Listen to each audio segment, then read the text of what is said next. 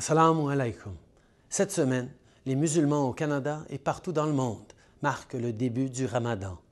Familles et amis se réuniront à la mosquée ou à la maison pour observer ce mois sacré. Partout où on le célèbre, le ramadan nous rappelle d'être reconnaissants pour tout ce que nous avons, de redonner à notre communauté et de faire passer les besoins des autres avant nos propres besoins.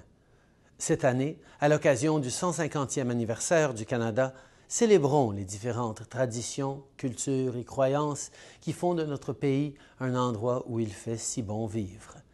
Les Canadiens de confession musulmane apportent des contributions énormes à notre pays et aident à faire du Canada le pays fort, ouvert et inclusif qu'il est aujourd'hui. Au nom de notre famille, Sophie et moi souhaitons à tous les musulmans un très joyeux Ramadan. Ramadan Mubarak.